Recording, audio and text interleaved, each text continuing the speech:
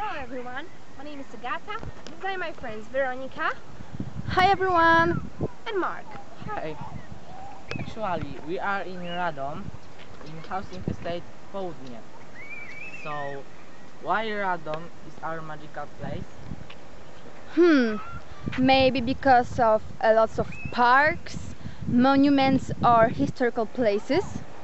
No, not because of flowers, trees or memorials. This place is magical. It's all about memories and time what we spent here. You're right. You remember when we were eating ice creams here and Veronica dropped her chocolate ice cream? It wasn't funny.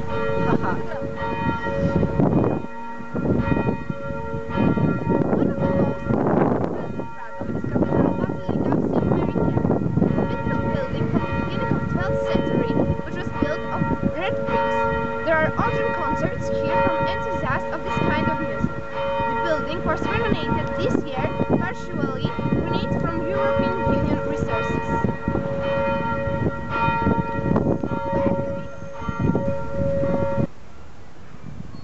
Opposite of the cathedral is a park with the main avenue, named after Bishop Jan Chrapek.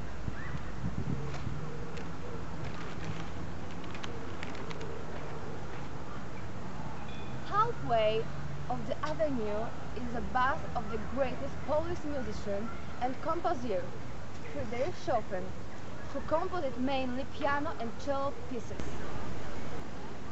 To the end of the main avenue, there is a monument of a horse with young Ivanov who is related to Radom, Radom State. He wrote a lot of pieces over 300 triples and almost 16 songs which we learn about on Polish language lessons. The monument is in the neighborhood with Żeromskiego Street, the most popular street in Radom.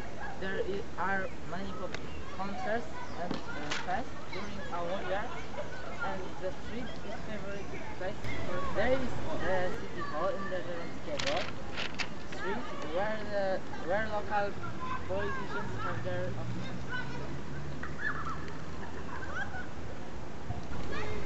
Near the old town, there are town hall with clock tower, where is local arrivals and house of Gospa and the. Currently, modern art museum, and there is a Zlotnia collection.